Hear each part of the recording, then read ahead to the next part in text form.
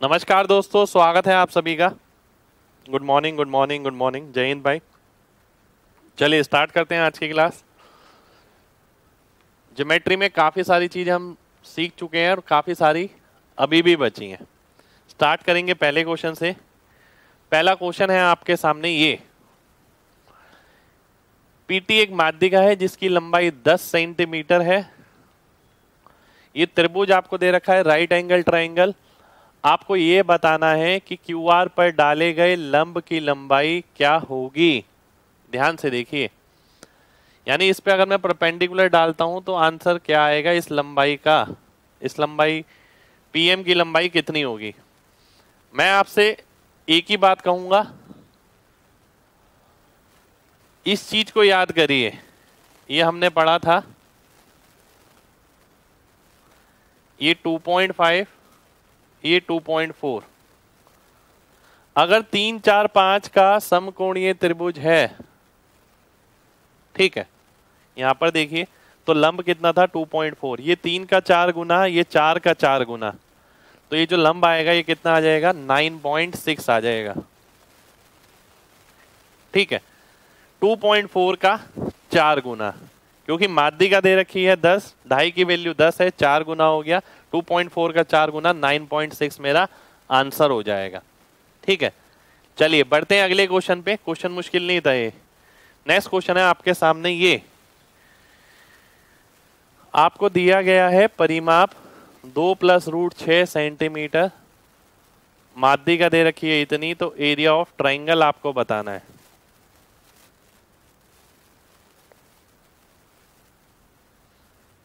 आइए देखते हैं। राइट एंगल ट्राइंगल के लिए था भाई, बिल्कुल। एक राइट एंगल ट्राइंगल है मेरे पास। ध्यान से समझिएगा। ये माध्यिका जो बनाई गई है, उसकी लंबाई कितनी है? एक। अगर ये एक है तो ये भी एक आएगा और ये भी एक आएगा। इतना आप सबने सीख ही लिया है। अब मेरे को इस त्रिभुज का एरिया निकालना है। ठीक है, ध्यान से देखिएगा। इस त्रिभुज का एरिया का मतलब है ये अगर P है, ये B है, ठीक? ये क्या है? परिमाप है। अगर मैं परिमाप में से दो घटा देता हूँ, क्योंकि दो क्या है, ये H है तो मेरे को P प्लस बी की वैल्यू मिलेगी। P प्लस बी बराबर हो गया किसके? रूट छ के। अब मैं स्क्वायर करता हूँ अगर P square plus B square plus two P B बराबर हो गया किसके? छ के। P square plus B square किसके बराबर होगा? एच स्क्वायर के। एच स्क्वायर कितना है? दो का स्क्वायर यानी चार। तो मैं बोल सकता हूँ टू पी बी की वैल्यू कितनी आ गई? दो आ गई। मेरे को किसकी निकालनी है? हाफ़ पी बी की। क्योंकि ये एरिया होता है। तो हाफ़ मेरा आंसर आ जाएगा। वन बाई टू मेरा आंसर हो जाएगा। ठीक है? कितने लोगों को मेरी बात समझ आ गई है? जल्दी से एम जी टाइप करिए। जल्दी से।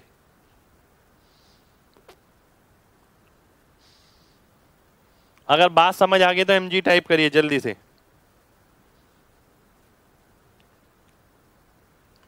बहुत बढ़िया। देखिए, बहुत अच्छा क्वेश्चन है सेम क्वेश्चन एग्ज़ाम में मिल सकता है आपको। एक बार और देख लेते हैं। समकोणीय त्रिभुज है। अब यहाँ पर आप देखते हैं तो माध्यिका एक हो गई माध्यिका अगर एक हो गई तो ये भी एक, ये भी एक। इसका जो कर्ण है, ये दो आ गया। ठीक है, कर्ण अगर दो आ गया तो अगर मैं पूरा परिमाप देखता हूँ तो P प्लस बी प्लस दो, इसके बराबर था दो से दो कटा P प्लस बी की वैल्यू यह आ गई। और ये हमने पहली बार नहीं करी इस तरीके की क्वेश्चन में पहले भी बहुत बार करा चुका हूँ, ठीक है? तो P square plus B square H square होता है एच स्क्वायर क्या आ गया? दो का स्क्वायर जो मैंने डायरेक्ट चार लिखा। मैं चाहता तो यहाँ एक एक करके भी लिख सकता था P square plus B square plus two P B root six का स्क्वायर पर मैंने वो स्टेप नहीं लिखा, क्योंकि ये चीज़ हम पहले भी बहुत बार सॉल्व कर चुके हैं। टू पी बी की वैल्यू, टू आ गई, हाफ़ पी बी निकालना है, हाफ़ आंसर हो गया। ठीक है? बिल्कुल भाई, आज का सेकेंड क्वेश्चन है। सर्कल में भाई अभी टाइम है, काफ़ी टाइम है, अभी तो यही कर लो। ठीक है? सर्कल अभी बहुत टाइम है। In right triangle A B C A B तीन सेंटीमीटर एक सेकंड हो जाइए, इससे पहले एक क्वेश्चन और था यार। अच्छा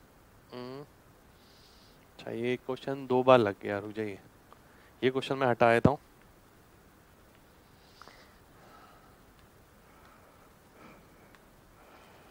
एक क्वेश्चन ये है आपके सामने। एक समकोण त्रिभुज है ए बी सी जिसमें कोण सी 90 डिग्री है। ए डी एंगल बाइसेक्टर है। कौन कोण समद्विभाजक ए का। ठीक है। जो बीसी को डी पे काटता है। ये क्वेश्चन मिस हो गया था, पर अच्छा क्वेश्चन है, इसलिए मैं लिख रहा हूँ यहाँ पर। ए बी पंद्रह ए सी नौ। ठीक है। डी की दूरी बतानी है ए बी से. Distance of D from A B ठीक है? और कुछ और कुछ गिवन नहीं है. चलिए. और कुछ गिवन नहीं है. आइए ध्यान से देखते हैं. सभी लोग ध्यान से देखिएगा. क्या बोल रहा है? एक राइट ट्रायंगल है ए बी सी सी पे समकोण है, अगर मैं ये ए मान लेता हूँ, ये बी मान लेता हूँ. ए डी एंगल बाइसेक्टर है, कोण समद्विभाजक. ठीक है. जो बी सी को डी बिंदु पर काटता है ए बी अगर पंद्रह है ए सी नौ है.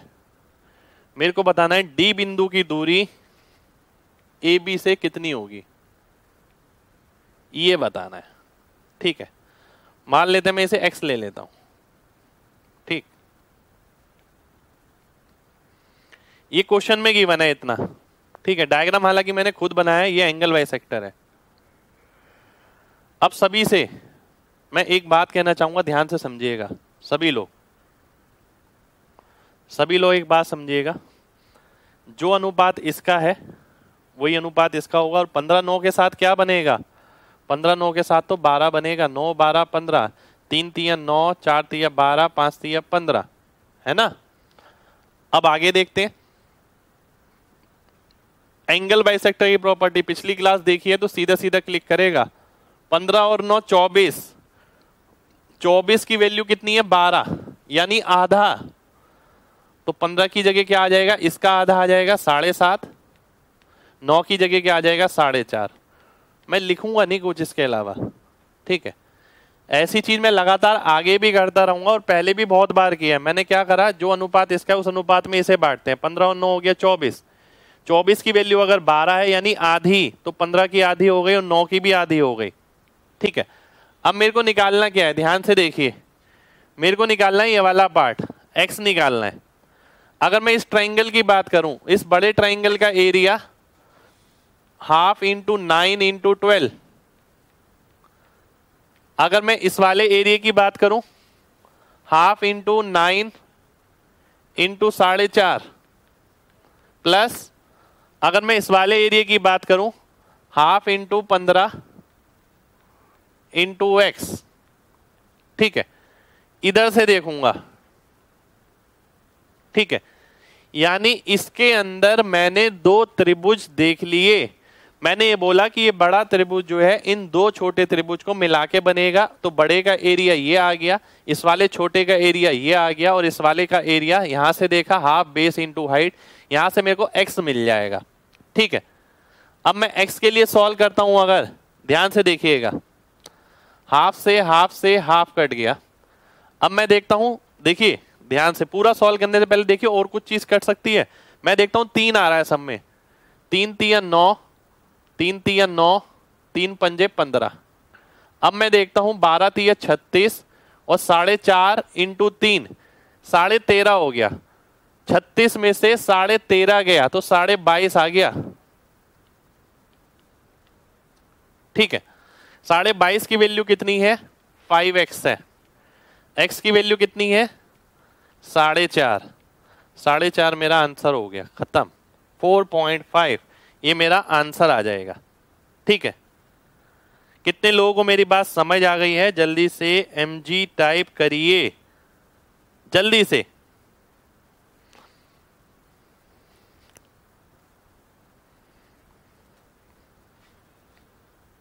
बहुत बढ़िया बहुत बढ़िया। बहुत बढ़िया। भाई, कोशिश करिए चीज़ें ना एक बारी में समझ आए। कोशिश करिए ऐसा। मैं सभी से रिक्वेस्ट करूँगा, आप सभी से अटेंटिव होके क्लास देखिए, बिल्कुल। क्योंकि पता है 500 क्वेश्चन कराना जो अपने आप में बहुत बड़ी बात है, ठीक है? मैं चाहूँ तो 250 300 क्वेश्चन में भी खत्म कर दूँ, पर मैं चाहता हूँ इसके बाद आपको कभी कोचिंग ना करनी पड़े। आपका समय बहुत महत्वपूर्ण है। अगर एक बारे में समझेंगे, एक क्लास में ज़्यादा क्वेश्चन हो पाएँगे। अगर तीन चार बार अगर मैं रिपीट कर दूँगा तो वही क्वेश्चन की संख्या कम हो जाएगी ड्यूरेशन अपने आप बढ़ जाएगा। तो थोड़ा सा देखिए नुकसान आप ही का है। देखिए, मैं तो रिपीट कर दूँगा, मेरे को कोई दिक्कत नहीं है।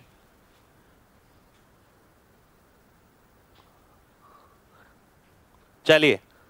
भाई बेसिक से बिल्कुल स्टार्टिंग से शुरू किया। स्टार्टिंग की क्लास से देखिए पहले, फिर इस पे आइए। स्टार्टिंग की क्लास बिल्कुल ज़ीरो से ही है। ध्यान से देखिए एक बार और। इस त्रिभुज के अंदर मेरे को दो त्रिभुज नज़र आ रहे हैं। यानी बड़े वाले का एरिया ये रहा।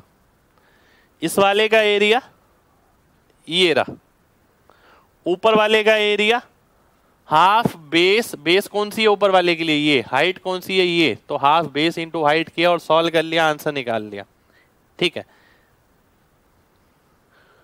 बिल्कुल, इसे बेस माना है, इसे हाइट। मैंने एरो भी लगाया, केवल इसलिए कि अब इसे यहाँ से देखा मैंने। यहाँ से नहीं देखा। ठीक है?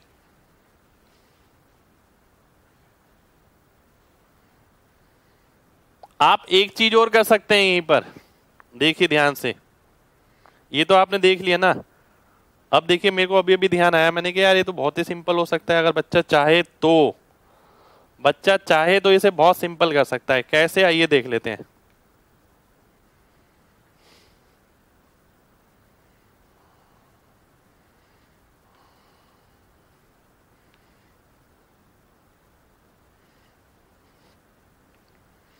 अब ध्यान से देखिएगा। बहुत ध्यान से देखना है सभी को। ठीक है? कुछ सिमिलरिटी नहीं लगानी, सिमिलरिटी नहीं लगा पाएँगे यहाँ। एंगल नहीं पता हमें। ठीक है? बहुत ध्यान से देखिएगा सभी लोग। मैं आपसे बोलता हूँ, केवल ना इस ट्रायंगल पे नज़र मारिएगा। ये वाला ट्रायंगल। इसका एरिया मैं दो तरीके से देख सकता हूँ। कैसे? Half into fifteen into X, ये भी हो सकता है? बिल्कुल हो सकता है। यहाँ से देखने पर। अगर मैं इसे यहाँ से देखूँ तो half into seven point five into height. Height क्या होगी? ये हो जाएगी नाइन। तो हाफ़ से हाफ़ कटा, साढ़े सात से पंद्रह कटा, एक्स की वैल्यू क्या आ गई? Nine by two. Nine by two मेरा आंसर हो गया, साढ़े चार मेरा आंसर हो गया। आपको बताया था ना मैंने कि कोई भी ट्रायंगल अगर ऑप्ट्यूस ट्रायंगल है तो इसकी हाइट क्या होती है? इसकी हाइट ये होती है, ये वाली। अगर आप इसे यहाँ से देखते हैं तो इसकी हाइट आपको ये नज़र आएगी, ये। ठीक है, ये हाइट नज़र आएगी, इस ट्रायंगल की, ये वाली हाइट। तो हाइट ले ली मैंने, half seven point five into nine, X की वैल्यू नाइन बाई टू आ गया। ठीक है, ये मैंने पहले भी बहुत बार कराया है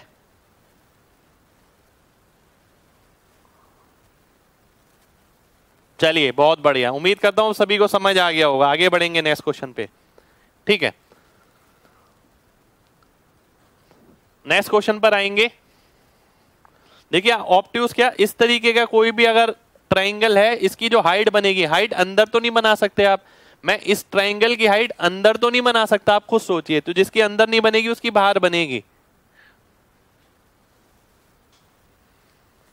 ज़रूरी नहीं है कि आप ऑप्टिवस ही लगाएँ उसके अंदर। नेक्स्ट क्वेश्चन है आपके सामने ये।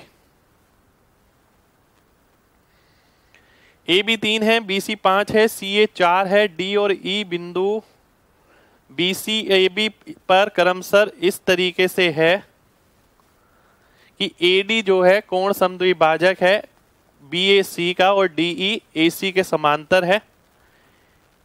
ए सी डी ई का क्षेत्रफल आपको बताना है क्या होगा।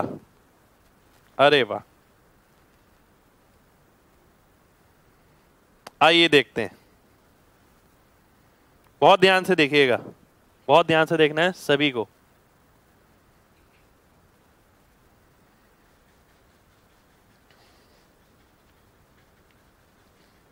ध्यान से देखिएगा।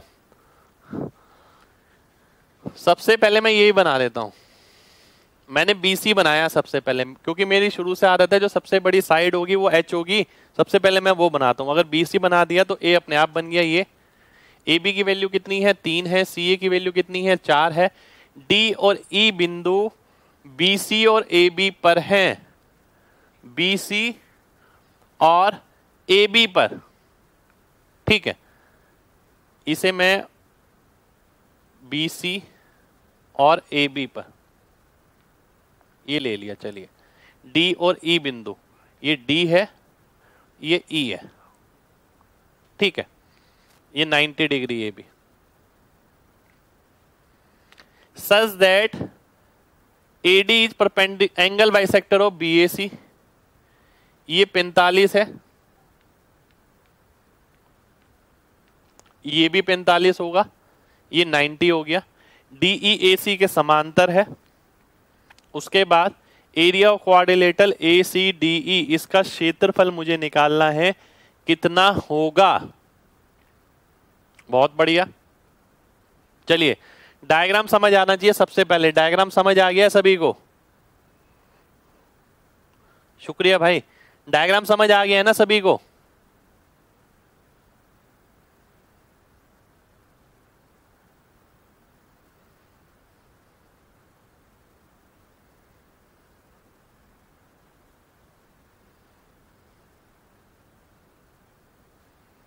चलिए। बहुत बढ़िया। अब आगे बढ़ते हैं। ध्यान से देखिएगा। देखिए, उसने ना एक बात बोली है यहाँ पर। क्या बात बोली है? कि ये एंगल बाइसेक्टर है। ठीक है? कि ये एंगल बाइसेक्टर है यहाँ पर। अब एंगल बाइसेक्टर अगर है तो जो अनुपात इसका होगा, वही अनुपात इसका होगा। होगा ना? बिल्कुल होगा, देखिए। जो अनुपात इसका होगा, वही अनुपात उसका होगा। अगर मैं बोल देता हूँ तीन अनुपात चार, यानी पाँच की लंबाई को बांटना है किसमें तीन अनुपात चार में। यानी मैं बोल सकता हूँ सात की वैल्यू अगर पाँच है तो तीन की कितनी आ गई? पंद्रह बटे सात। तो ये वैल्यू आ गई पंद्रह बटे सात। ठीक है। Fifteen by seven. ये आपको फिफ्टीन बाय सेवन मिलेगी। ठीक है। ये वाली वैल्यू अलग मिलेगी, पर ये वाली वैल्यू की मेरे को ज़रूरत नहीं है। अब मेरे को करना क्या है, मेरे को एरिया निकालना है। किसका? एरिया निकालना था मेरे को इस वाले पार्ट का। अब मैं आपसे बोलता हूँ, अगर आप सिमिलरिटी लगाते हैं सिमिलरिटी ऑब्ज़र्व करिए यहाँ पर, देखिए। ये 90 डिग्री है, इसके सामने ये ये 90 डिग्री है, इसके सामने ये।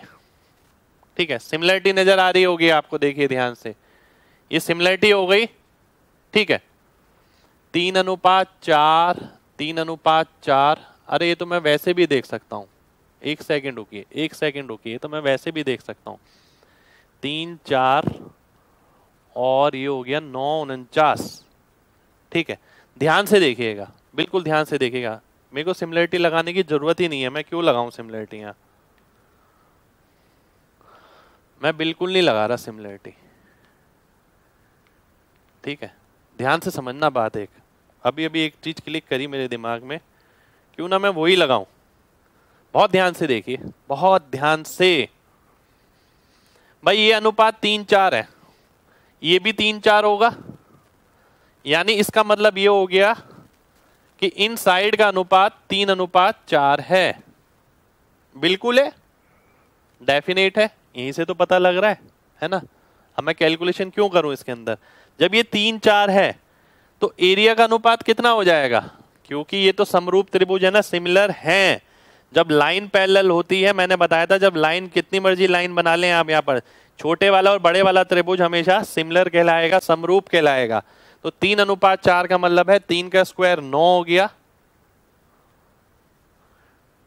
चार और तीन, सात का स्क्वायर कितना हो गया? उनचास। उनचास का मतलब है टोटल अगर उनचास है, नौ ये है तो ये चालीस बचा। ठीक है? टोटल कितना हो गया? उनचास। उनचास की वैल्यू कितनी है? हाफ़ बेस हाइट यानी छ मेरे को किसकी निकालनी है? चालीस की। तो आंसर कितना आ जाएगा? 240 बटे उनचास। खत्म कहानी। कोशिश यही करेंगे, जितना छोटा हो सके। कैलकुलेशन ना करनी पड़े। कितने लोगों को मेरी बात समझ आ गई है? जल्दी से एमजी टाइप करिए। जल्दी से।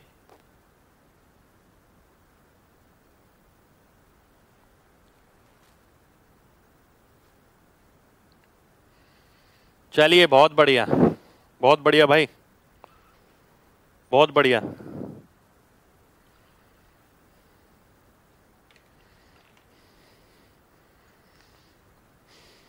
सिक्स कहाँ से? सिक्स भाई, एरिया है इसका बड़े वाले का।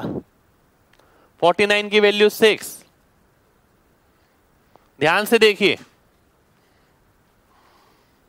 लॉजिक समझिए, देखिए ऐसा नहीं है कि बहुत ध्यान से देखिएगा, बहुत ध्यान से देखना है सभी को।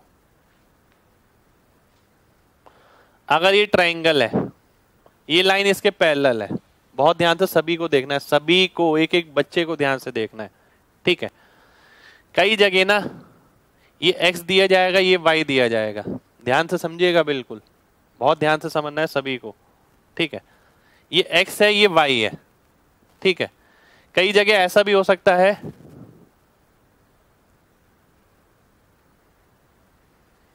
कि ये x हो और ये y हो। ठीक है? ऐसा भी हो सकता है। हमें हमेशा ना ये बनाना है। हमेशा। ठीक है? अब अगर आप देखें, ये दो ट्रायंगल सिमिलर है सिमिलर है तो इनके साइड का रेशियो कितना हो गया? एक्स वाई एरिया का रेशियो कितना हो गया? एक्स स्क्वायर वाई स्क्वायर इस बात का मतलब क्या है? इस बात का मतलब यह है कि अगर ये ट्राइंगल है, ये एरिया एक्स स्क्वायर है तो पूरा वाई स्क्वायर है। पूरा वाई स्क्वायर है तो मतलब ये कितना रहा? Y square minus X square ठीक है? इसे मैं हटा देता हूँ फ़िलहाल।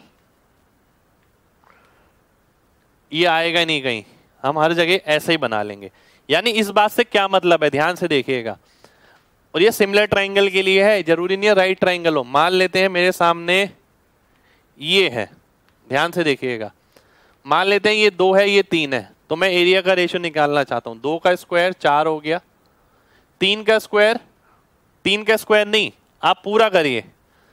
तीन और दो, पाँच का स्क्वायर ठीक है? पाँच का स्क्वायर माइनस दो का स्क्वायर पाँच का स्क्वायर माइनस दो का स्क्वायर करेंगे तो ये आ जाएगा। ठीक है? तो पाँच का स्क्वायर माइनस दो का स्क्वायर मैंने किया तो कितना हो गया? पच्चीस माइनस चार यानी इक्कीस। ये इक्कीस आ गया। ठीक है?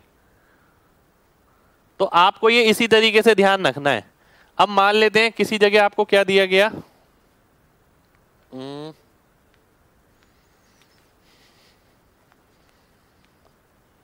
ये वन, ये सेवन। तो वन का स्क्वायर, सेवन का स्क्वायर माइनस वन का स्क्वायर। ठीक है, फोर्टी एट आ गया। मान लेते हैं। वन, टू, थ्री, ये दिया गया। तो ये वन का स्क्वायर, ये टू का स्क्वायर माइनस वन का स्क्वायर ये थ्री का स्क्वायर माइनस टू का स्क्वायर ठीक है? ये हमेशा ध्यान रखना है आपको। और ये राइट ट्राइंगल में भी हो सकता है नॉर्मल ट्राइंगल में भी हो सकता है, पर सिमिलर ट्राइंगल होने चाहिए। ठीक है? कितने लोगों को मेरी बात समझ आ गई है? जल्दी से एमजी टाइप करिए, जल्दी से। एमजी टाइप करिए, अगर बात समझ आ गई है तो। ठीक है? अगर ये पूरा दे रखा है तो तो इसका स्क्वायर माइनस ये कर लेंगे। और मैंने एक चीज़ और बताई है, अगर ये पूरा नहीं दे रखा, मान लेते हैं किसी ने दिया कि ये तीन है, ये पाँच है तो ऊपर वाला तो इसी का स्क्वायर हो जाएगा। पर नीचे वाला क्या होगा? पूरे का स्क्वायर माइनस इसका स्क्वायर ऊपर वाले का। ठीक है, तब मैं इसे ऐसे लिखूँगा। ये हर ट्राइंगल में सिमिलरिटी के लिए एप्लीकेबल है। जहाँ भी सिमिलर ट्राइंगल मिलेंगे, हर जगह लगेगा और एक जगह नहीं, मैं बहुत जगह लगवाऊँगा इसे।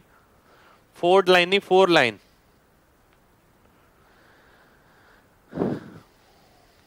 चार रेखाएँ हैं। एक, दो, तीन, चार।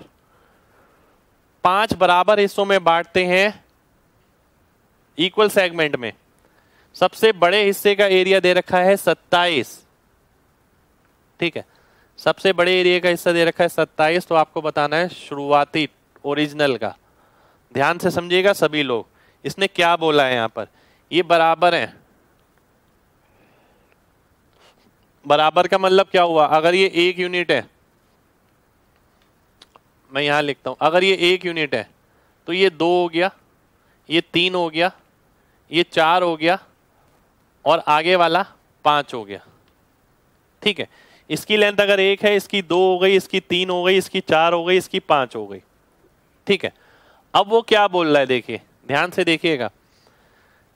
सबसे बड़े का एरिया इसका एरिया दिया गया है, इस पूरे का निकालना है। है ना? इसका एरिया कितना आ गया? वन का स्क्वायर इसका क्या आ गया? टू का स्क्वायर माइनस वन का स्क्वायर इसका क्या आ गया? थ्री का स्क्वायर माइनस टू का स्क्वायर फोर का स्क्वायर माइनस थ्री का स्क्वायर ठीक है? पाँच का स्क्वायर माइनस चार का स्क्वायर पच्चीस में से सोलह गया नौ। और नौ की वैल्यू दे रखी है सत्ताईस। ठीक है, आपको निकालना है ओरिजिनल ओरिजिनल कितना हो गया? पूरा।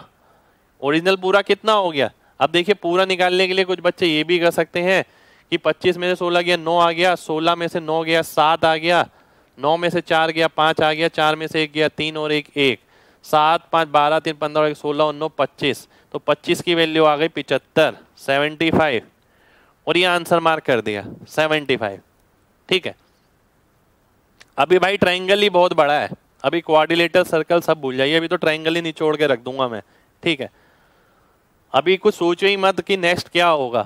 अभी तो ट्राइंगल में ही बहुत कुछ बचा है। ठीक है। अब मैं आगे बढ़ता हूँ। ध्यान से देखिएगा। अब मैं आगे बढ़ता हूँ, इसी क्वेश्चन को दिखाता हूँ दूसरे तरीके से। भाई, मैं आपकी जगह होता, मैं पता क्या करता? वो कह रहा है चार पैरेलल लाइन ठीक है। मैं इसे ना ऐसे विजुलाइज करता। कि मैं चार क्यों लू? चार लेनी है तो इसकी वैल्यू चार ले ली, इसकी पाँच ले ली।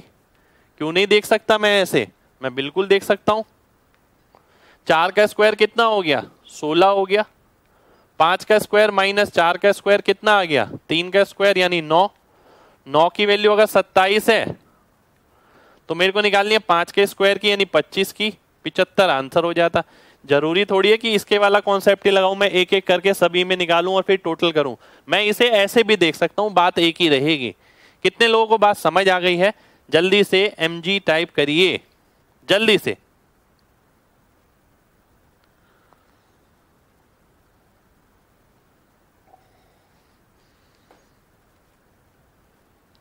बहुत बढ़िया।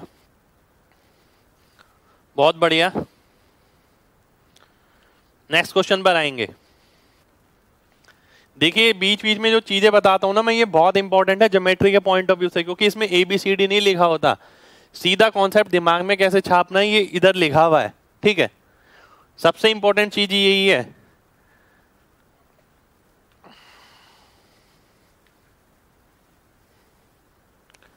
इसका अनुपात मेरे को निकालना है।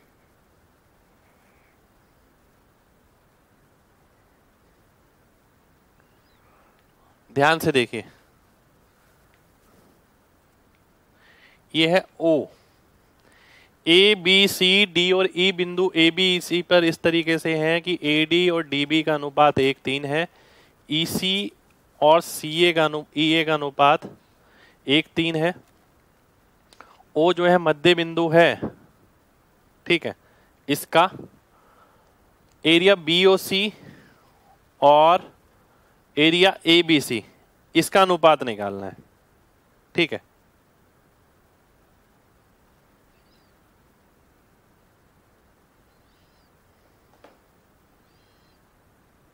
आइए देखते हैं। ध्यान से देखिएगा।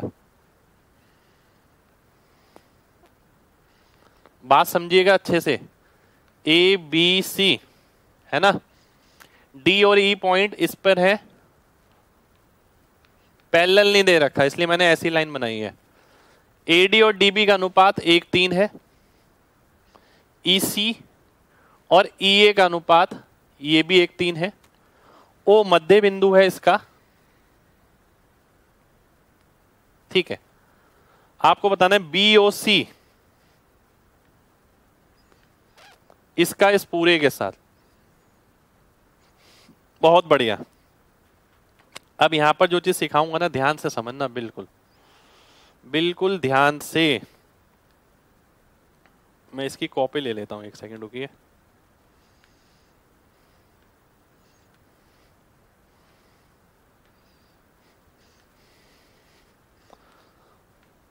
ध्यान से समझिए, बिल्कुल। ये मध्य बिंदु है, पहली बार यानी यहाँ से अगर मैं लाइन बनाता हूँ ये दोनों बराबर हैं, है ना?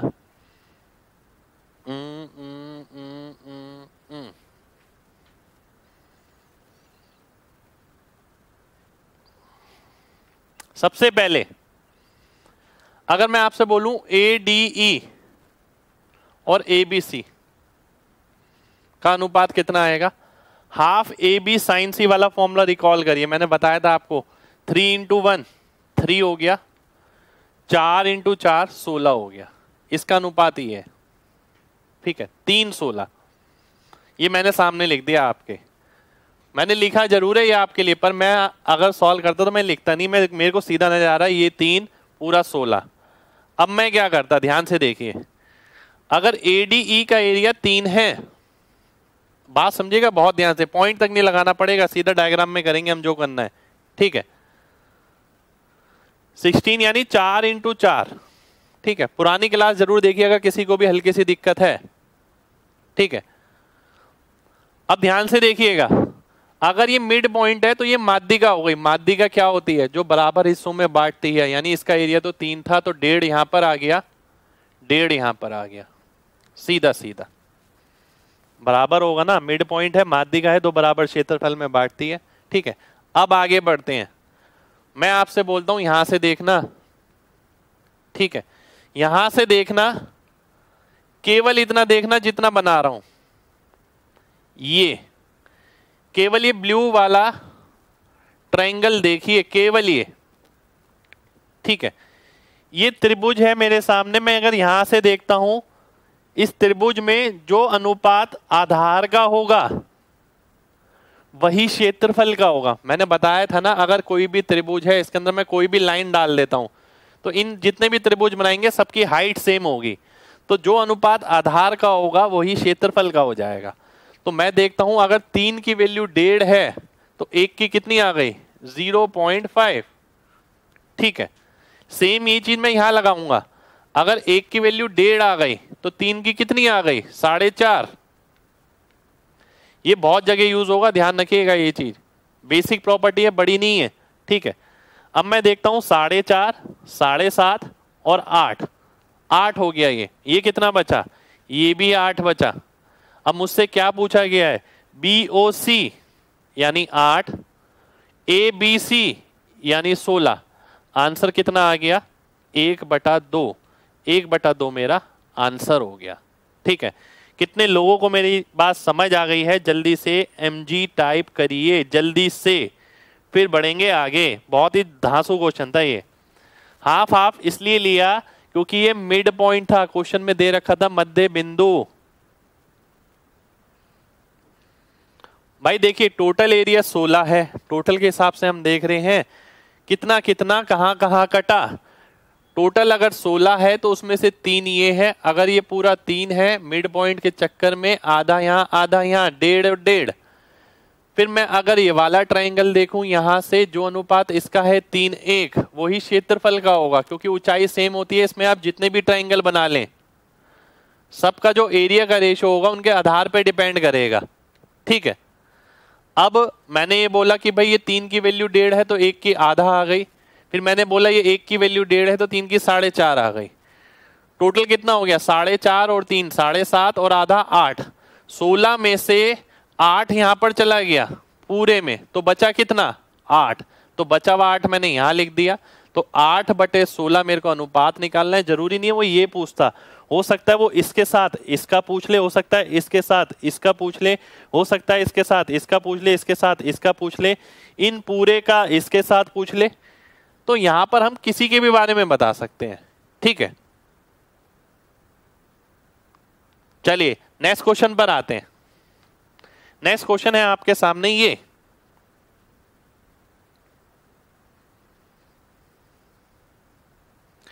तीसरी साइड आपको बतानी है।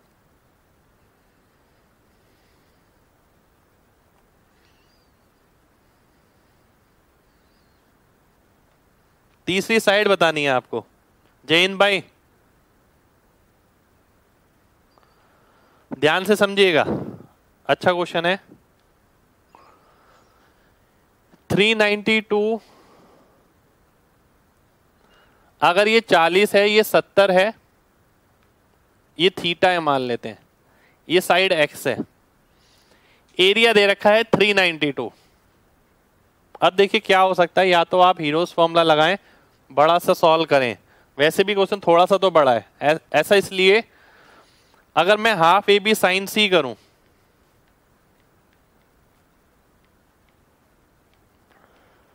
थ्री नाइनटी टू के बराबर हो गया। ठीक है? ये बीस आ गया। दो और सात चौदह हो गया। चौदह से अगर आप काटते हैं, चौदह दुनी अट्ठाईस बचा ग्यारह, चौदह अट्ठे एक सौ बारह। ठीक है? तो साइन थीटा की वैल्यू आ गई। अट्ठाईस बटा सौ यानी सात बटा पच्चीस। ठीक है? साइन थीटा की वैल्यू आई है, पर ये साइन थीटा से नहीं निकलेगा। ऐसा किससे निकलता है? अगर, खुद सोचिए, अगर मेरे को ये वाली साइड पता है, ये वाली साइड पता है और ये वाला एंगल पता है, ये वाली साइड किससे निकलेगी? बता सकता है कोई? कोई रूल हमने पढ़ा है, कोई लॉ हमने पढ़ा है, जिससे ये तीसरी साइड निकल सकती है? जल्दी से बताइए, जल्दी से। देखता हूँ कौन बताता है। दो साइड पता है, उनके बीच वाला एंगल पता है, तीसरी साइड हमें निकालनी है, दिमाग दौड़ाइए। तीन साइड एक एंगल के साथ कौन सा फॉर्मूला पढ़ा है? कोसाइन रूल पढ़ा है, बिल्कुल, बहुत सही बहुत सही। कोसाइन रूल हम लगाएँगे यहाँ पर। अगर मैं कॉस थीटा की बात करता हूँ तो कॉस थीटा इक्वल टू सत्तर का स्क्वायर प्लस चालीस का स्क्वायर माइनस एक्स का स्क्वायर बटा two into seventy into forty और कॉस थीटा की वैल्यू क्या होगी? अगर ये सात बटे पच्चीस है तो कॉस थीटा आएगा चौबीस बटे पच्चीस। पच्चीस अगर आप काटते हैं तो ये ज़ीरो और ये ज़ीरो कट गया, और ये चार भी कट गया। ठीक है? एक सेकंड रुक जाइए। पच्चीस ये ज़ीरो ज़ीरो गलत काट दिया मैंने। पच्चीस चौक सौ होता है। ठीक है? तो ज़ीरो ज़ीरो कट गया, इसकी जगह चार आ गया।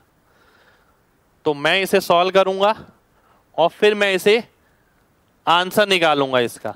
ठीक है? अब मैं अगर सॉल्व करता हूँ इसे, चार सत्ते अट्ठाईस अट्ठाईस दूनी छप्पन छप्पन इंटू चार, ये हो गया आपका दो सौ चौबीस। दो सौ चौबीस इंटू चौबीस। ठीक है? सत्तर का स्क्वायर प्लस चालीस का स्क्वायर उनचास और सोलह। पैंसठ हो गया, पैंसठ सौ। ठीक है, पैंसठ सौ में से घटाऊँगा और एक्स स्क्वायर की वैल्यू आएगी, फिर एक्स के लिए सॉल्व करूँगा। आंसर इसका ये है एक्स की वैल्यू आएगी two root two eighty one calculate करना पड़ेगा, बिल्कुल करना पड़ेगा। बिना कैलकुलेशन के नई बात बनेगी। ठीक है, सात, चौबीस, पच्चीस का ट्रिपलेट होता है भाई, बिल्कुल। बिना कैलकुलेशन के बात नहीं बनेगी इसके अंदर। चलिए नेक्स्ट क्वेश्चन पर आते हैं। ध्यान से देखना है सभी को।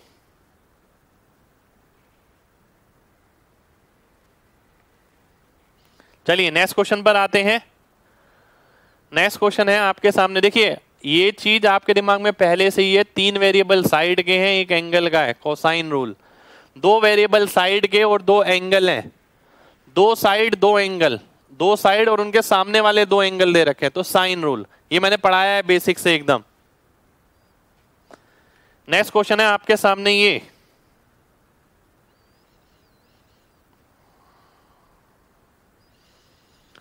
यहाँ पर दिया गया है सी की वैल्यू 100 बी सी की 80 ए बी की 60 ये दिया गया है। ठीक है।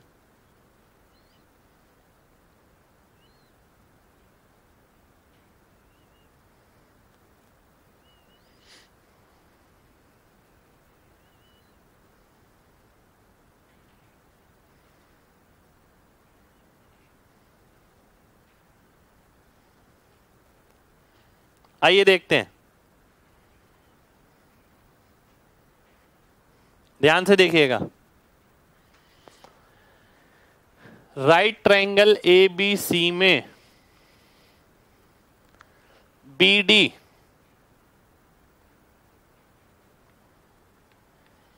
A C B C है अस्सी ए सी है सौ और ए बी है साठ। ये साठ है। दोबारा से लिख देता हूँ मैं इसे। ए बी है साठ। ठीक है। राइट एंगल ट्राइंगल बन गया। सबसे पहले परिमाप अगर इक्वल है, किसका? A B C into two triangles of equal perimeter इस वाले का और इस वाले का। ध्यान से देखिएगा। इस वाले का और इस वाले का। अगर मैं आपसे एक सिंपल सी बात बोलूँ। दो सौ चालीस, साठ और चालीस। बिल्कुल आएगा जी। ध्यान से देखिए। ये ट्रायंगल है मेरे पास। ये साठ है, ये अस्सी है, ये सौ है। अगर इनका परिमाप बराबर है, इसका इसका, ध्यान से देखिएगा। अगर इनका परिमाप बराबर है, ये साइड तो कॉमन है। दोनों में, इस वाले में भी, इस वाले में भी। यानी ये साइड मैं हटा दूँ तो इन दोनों का योग इन दोनों के योग के बराबर होना चाहिए। इन दोनों का योग इन दोनों के योग के बराबर होना चाहिए। इन दोनों का, इन दोनों का। यानी कहने का मतलब क्या है? अगर हम टोटल देखें टोटल कितना है? 180 और 60 240 240 को दो बराबर हिस्सों में बांटना पड़ेगा वन इज़ टू वन यानी 120 ये हो जाएगा 120 ये हो जाएगा। यानी कहने का मतलब है, अगर 60 ही है तो ये 60 हो गया। अगर 80 ये है तो ये 40 हो गया। क्योंकि ये तो कॉमन है दोनों के अंदर। कितने लोगों को इतनी बात समझ आ गई है? पहले वो एम टाइप करे, फिर आगे बढ़ेंगे।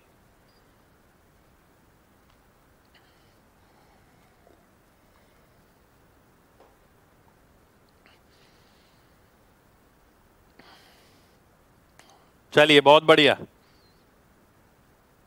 बहुत बढ़िया बहुत बढ़िया। देखिए लॉजिकल पार्ट है यहाँ समझना पड़ेगा, खाली फॉर्मूले से काम नहीं चलेगा, अगर आप सोचें फॉर्मूले फॉर्मूले याद कर लें। फॉर्मूले से काम नहीं चलेगा भाई, ठीक है। ध्यान से देखिए। देखिए, अगर मैं अभी लिख दूँगा ना तो बहुत आराम से समझ आ जाएगा, मैं अगर लिख दूँ, ये ए है, ये बी है, ये सी है, ये डी है। अब मैंने ये लिखा A B plus B D plus A D बराबर होगा किसके? B C plus C D plus B D ठीक है?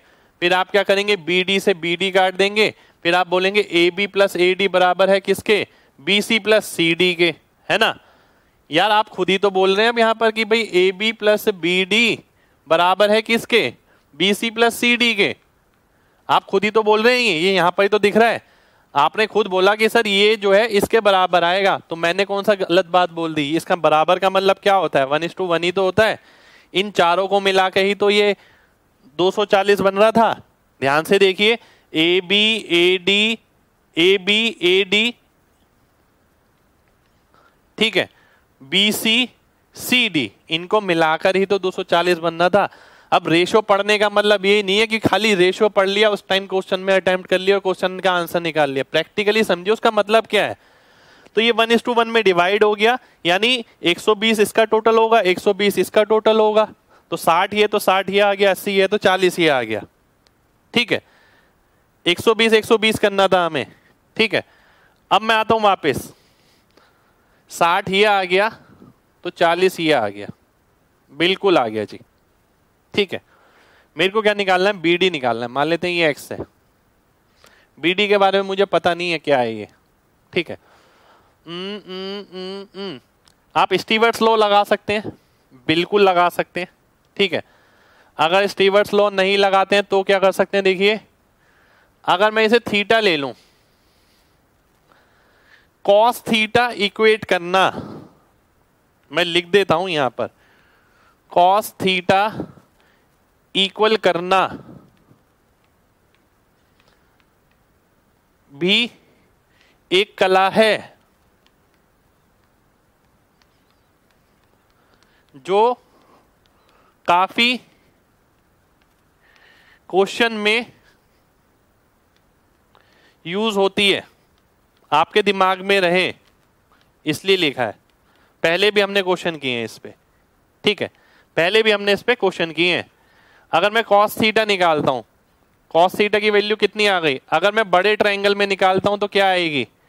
चार बटे पाँच, अस्सी बटे सौ। अगर मैं छोटे ट्राइंगल में निकालता हूँ इसके अंदर तो चालीस का स्क्वायर प्लस अस्सी का स्क्वायर माइनस एक्स का square upon two into forty into eighty ठीक है, ये आ गया। ध्यान से देखिए। अब मैं पाँच से काटता हूँ। पाँच अट्ठे चालीस हो गया। ठीक है।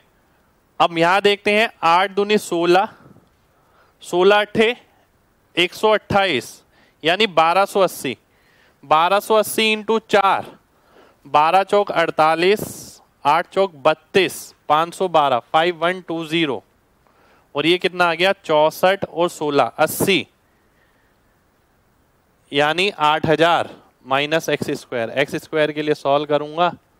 तो कितना आ जाएगा? अस्सी हो गया बावन सौ, आठ सौ अस्सी, अट्ठाईस सौ अस्सी। ठीक है, ये आ जाएगा। तर पंजे। तो इसको मैं सॉल्व करूँगा तो एक्स की वैल्यू आ जाएगी चौबीस रूट पाँच।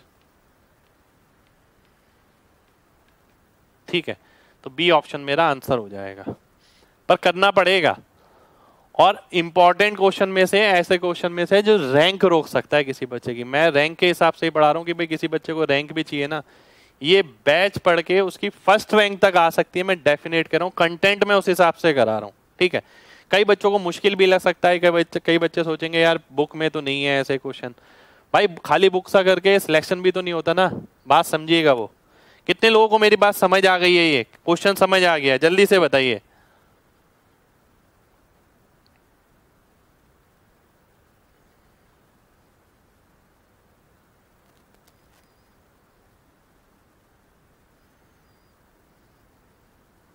चलिए, बहुत बढ़िया भाई, बहुत बढ़िया बहुत बढ़िया बहुत बढ़िया। आगे बढ़ते हैं। भाई, अट्ठाईस सौ अस्सी को सॉल्व क्या करना? अट्ठाईस सौ अस्सी तो आराम से सॉल्व हो जाएगा। अट्ठाईस सौ अस्सी में क्या आ रहा है? पाँच आ रहा है। अगर मैं पाँच अगर इसका हटा देता हूँ, पाँच से भाग कर देता हूँ, क्योंकि पच्चीस नहीं आ रहा है, इसमें एक ही ज़ीरो है। ठीक है, और पचास भी नहीं है, यहाँ अस्सी है। पाँच पंजे पच्चीस बचा तीन। ठीक है, पाँच पंजे पच्चीस बचा तीन, पाँच सत्ते पैंतीस, पाँच छिक तीस। तो ये आ गया रूट फाइव और रूट पाँच सौ छिहत्तर। रूट पाँच सौ छिहत्तर को करेंगे तो चौबीस आ जाएगा। नेक्स्ट क्वेश्चन पर आते हैं। नेक्स्ट क्वेश्चन है आपके सामने ये। Every triangle is an equilateral triangle and has side length of two आपको बताना है लेंथ ऑफ़ डॉटेड लाइन आइए डायग्राम बना देता हूँ मैं इसके अंदर। देखिए डायग्राम क्या है।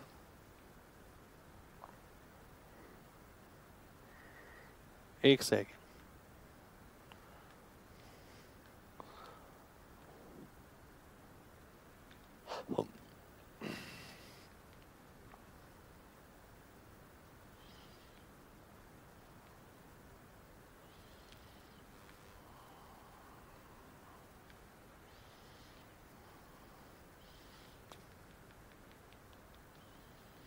ये है डॉटेड लाइन और ये इक्वलेटर ट्राइंगल है।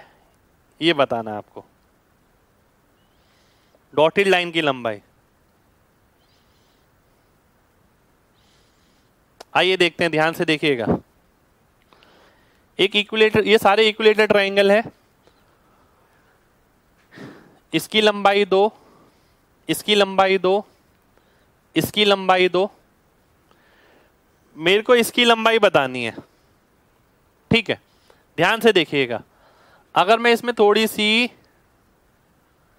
कंस्ट्रक्शन कर देता हूँ, ठीक है, अगर मैं इसमें थोड़ी सी कंस्ट्रक्शन कर देता हूँ, ये हाइट हो गई, ठीक है। ध्यान से देखिएगा, बहुत ध्यान से देखना है सभी को। अगर ये दो है 90 के सामने, ये इक्विलेटर ट्राइंगल था, ये 60 होगा सिक्सटी के सामने क्या होता है? रूट थ्री थर्टी के सामने क्या होता है? वन अब आपको क्या देख रहा है? आपको देखना चाहिए ये। ये रूट तीन, ये दो दो, चार और एक पाँच और ये डॉटेड लाइन जो आपको निकालनी है, ये देखिए, ध्यान से देखना चाहिए। पाँच, पंजे, पच्चीस और तीन, अट्ठाईस, यानी रूट अट्ठाईस। रूट अट्ठाईस मेरा आंसर हो जाएगा सी ऑप्शन मेरा आंसर आ जाएगा। ठीक है? कितने लोगों को मेरी बात समझ आ गई है? जल्दी से एम जी टाइप करिए, जल्दी से। फिर बढ़ेंगे आगे।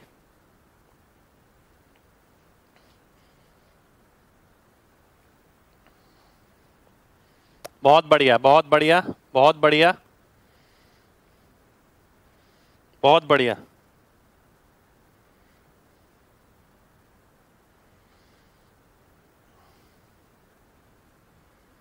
चलिए नेक्स्ट क्वेश्चन पर आते हैं। नेक्स्ट क्वेश्चन पर आते हैं। नेक्स्ट क्वेश्चन है आपके सामने ये।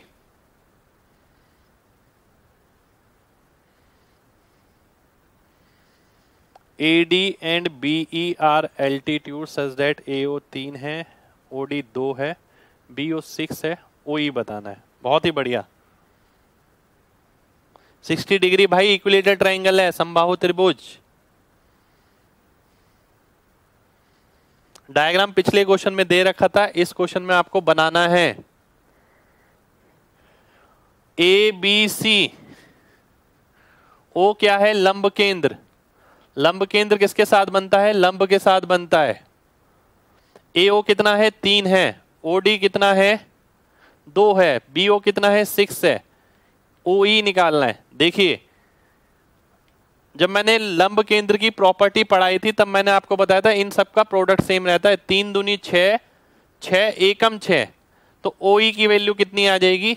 वन आ जाएगी। वन मेरा आंसर हो जाएगा। ये इंटू ये ये इंटू ये, और यहाँ से भी अगर तीसरा बनाते हैं, ये इंटू ये ये तीनों बराबर होते हैं लंब केंद्र के साथ। ये प्रॉपर्टी होती है आपकी। ठीक है? चलिए नेक्स्ट क्वेश्चन पर आएँगे। इससे ज़्यादा कुछ नहीं करना, पर प्रॉपर्टी ध्यान रखनी ज़रूरी है। नेक्स्ट क्वेश्चन है आपके सामने ये।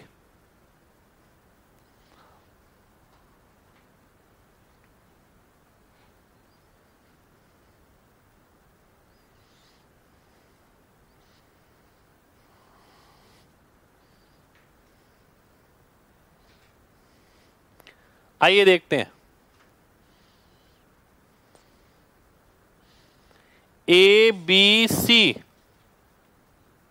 ठीक है। जी अगर केंद्रक है A D B E C F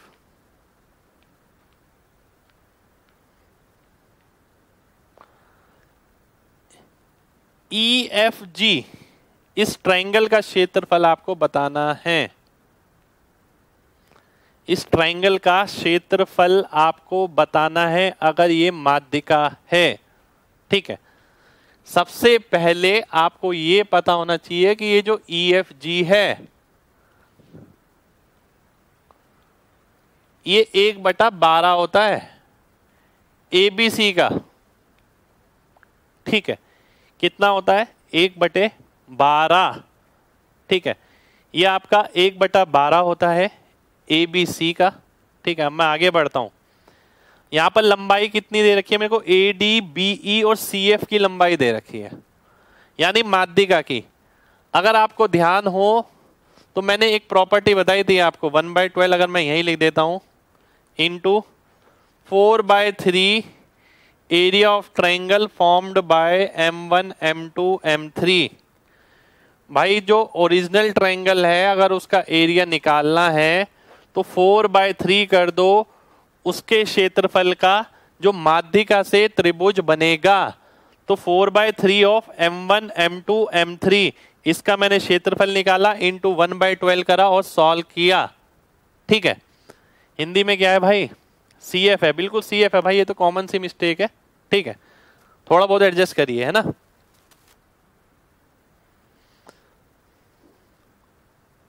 देखिए आप निकाल भी सकते हैं। एक बच्चा पूछा है बीजीसी कितना होगा? भाई बीजीसी तो आपको पता ही है। आपको पता है ना सभी को? बीजीसी कितना होता है? वन थर्ड होता है। जी अगर केंद्रक है तो एक ये एक ये एक ये, तीन बराबर हिस्सों में बटेगा। ये कितना हो गया? वन ट्वेल्थ हो गया। अगर आप पूछें, ये वाला कितना होगा? तो वन सिक्स हो जाएगा। अगर आप बोलेंगे, ये कितना होगा? ये भी वन सिक्स ये भी वन सिक्स ये भी वन सिक्स ये भी वन सिक्स ये भी वन सिक्स ठीक है? तो इस तरीके से करके आपको सभी का पता चल जाएगा। अब मैं आगे बढ़ता हूँ। अब मैं इसे सॉल्व करता हूँ। तो M1, M2, M3 माध्यिका पहली माध्यिका दूसरी माध्यिका तीसरी। अगर तीनों माध्यिका को देखता हूँ तो मुझे राइट एंगल ट्राइंगल नज़र आ रहा है। आप सबको भी नज़र आना चाहिए। ऑब्जर्वेशन बहुत ज़रूरी है कि आपको ट्रिपलेट नज़र आ जाए। तीन चार पाँच का ट्रिपलेट नज़र आ रहा है छह के मल्टीप्लाई में। ठीक है? अगर मैं एरिया निकालता हूँ तो half into base into height बारह इंटू अट्ठारह यानी 216 हो गया। तो अगर आप देखते हैं, चार तिया बारह, ये 216 बटे नौ तो कितना आ गया? 24 आ गया। 24 मेरा आंसर हो गया। 24 कितने लोगों को मेरी बात क्लियर है? जल्दी से एम जी टाइप करिए। 24 आंसर आएगा भाई। 24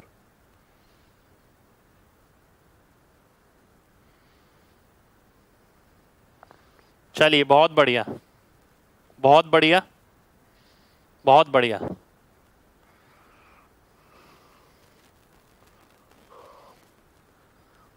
ठीक है नेक्स्ट क्वेश्चन पर आएँगे।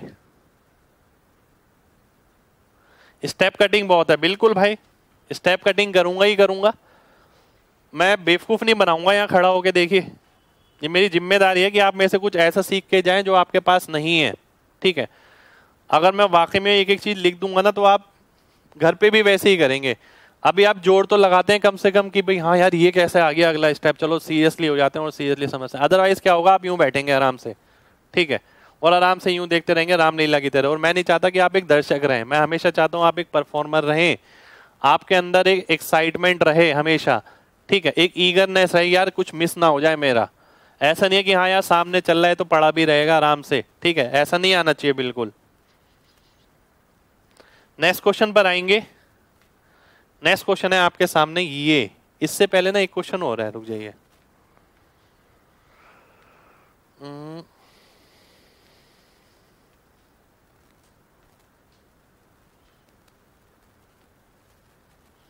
क्वेश्चन है आपका ये। एग्ज़ाम का ही क्वेश्चन है ये तो मेंस का। त्रिभुज एबीसी में ओ जो है, अंत केंद्र है। ठीक है? अंत है केंद्र।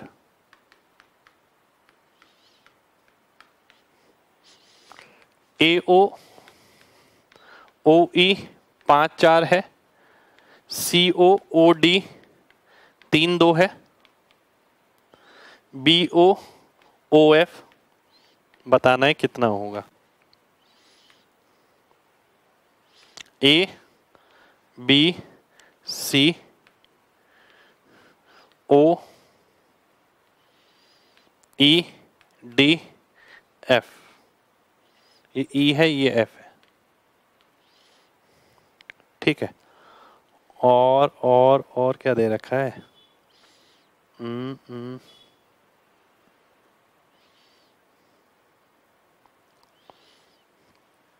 एक सेकंड हो जाइए।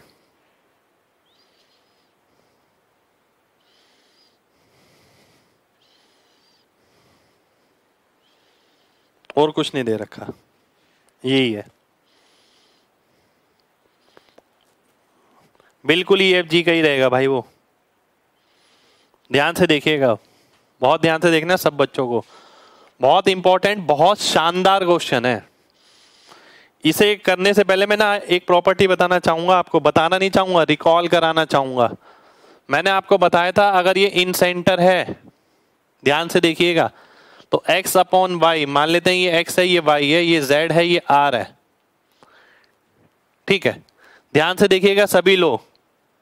और ये क्या है? T तो x अपॉन वाई का रेशियो अगर मैं निकालता हूँ तो बराबर आएगा z plus R upon T मैंने जानबूझ के उल्टा सीधा लिखा है एक्स वाई जेड आर जिससे कि आप चीज़ें ध्यान रखें, केवल नेम ध्यान नहीं रखें। कितने लोगों को ये ध्यान है? जल्दी से बताइए तो जरा। कितने लोगों को ध्यान है ये? बताइए जल्दी से।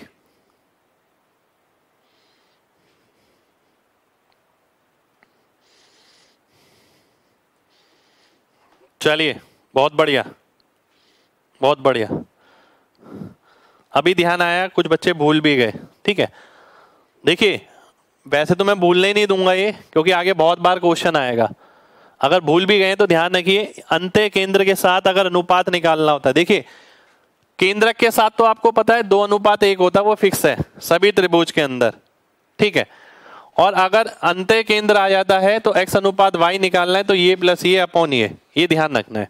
अब मैं क्वेश्चन पे आता हूँ यहाँ पर। अगर मैं आपसे बोलता ए ओ अपॉन ओ ई किसके बराबर आता? A B plus A C upon B C इसके बराबर आता। ठीक है? ए ओ अपॉन ओ ई ओ ई है ये। अगर मैं सी ओ अपॉन ओ डी कहता एक इसके बराबर दे रखा है? पाँच, चार। सी ओ अपॉन ओ डी यानी A C plus B C upon A B है ना? इसकी वैल्यू आ गई तीन बटा दो। ये आ गया मेरे सामने। तो सबसे पहले मैंने ये रेशियो लिख दिए। ठीक है? कोई बहुत बड़ा काम नहीं किया, जो पीछे प्रॉपर्टी अभी बताई, केवल वो लिखी है और उसकी वैल्यू लिखी है सामने। अब एक चीज़ बहुत ध्यान से देखनी है सभी को। सभी को बहुत ध्यान से देखनी है।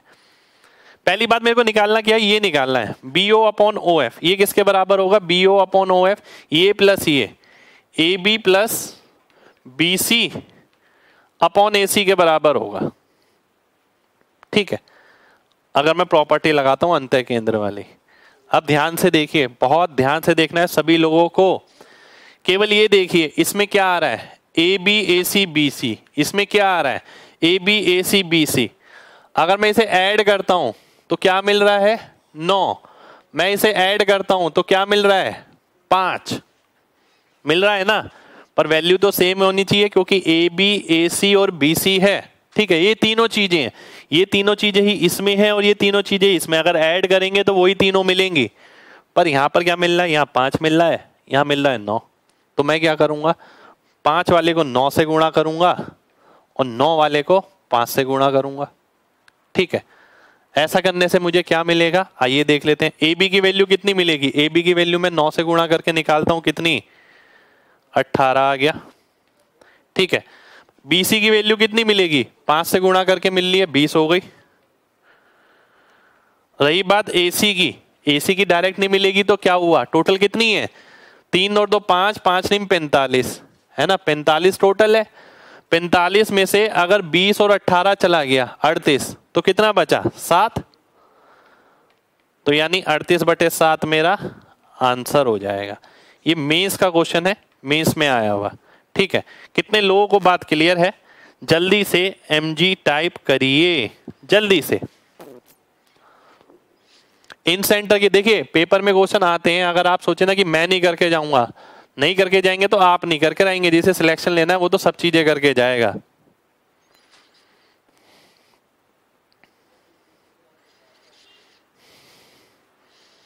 चलिए, बहुत बढ़िया बहुत बढ़िया, बहुत ही बढ़िया। बहुत ही शानदार। एसी वाला फिर से। अच्छा सेवन कैसा आया? देखिए ध्यान से। बहुत ध्यान से समझिए यार। पढ़ाई को ना थोड़ा इंजॉयबल बनाइए। यानी ये सोचिए कि आप ना कभी स्पेसिफिक नहीं है। जैसे मैं रेशो का कॉन्सेप्ट लगा रहा हूँ ज़्यादातर जगह। अब मैं रेशो का भी, मैंने रेशो ये सोच के थोड़ी पढ़ा कि रेशो के क्वेश्चन आएँगे, उसमें रेशो आता है मेरे को। मेरे को हर जगह आता है। यहाँ पर हमने क्या करा कि भाई A B A C B सी की वैल्यू सेम होनी चाहिए। ये पाँच आ रही है, ये नौ आ रही है, पर ये सेम होनी चाहिए इसलिए पाँच से गुणा किया, इसे नौ से। ऐसा करने पर ए बी कितना आ गया? नौ से गुणा करा अट्ठारह बी सी कितना आ गया? बीस। टोटल कितना बनाया है मैंने? टोटल तो पैंतालीस बनाया ना। अगर 20 और 18 चला गया 45 में से 38 चला गया तो बचा कितना? सात। और बचा हुआ क्या होगा? तीसरी साइड होगी। वो मैंने वैल्यू लिख दी।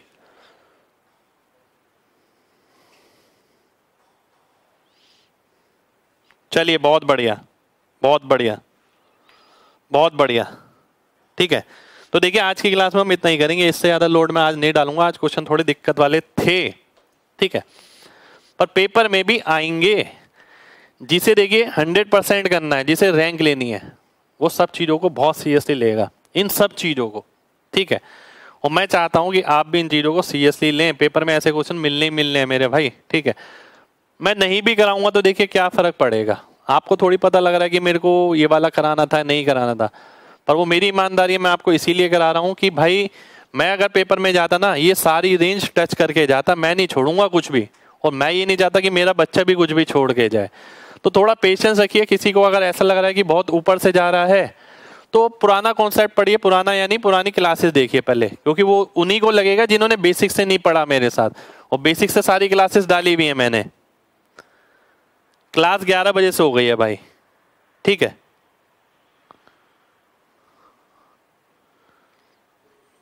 बिल्कुल दे सकते हैं भाई फीडबैक बहुत बढ़िया भाई, बहुत बढ़िया, शुक्रिया। चलिए मिलते हैं आपसे कल, जब तक ख्याल रखिए, ठीक है? और एक क्लास आज यूट्यूब पे भी है, बहुत धमाकेदार, ज़रूर देखिएगा, ठीक है? जय हिंद।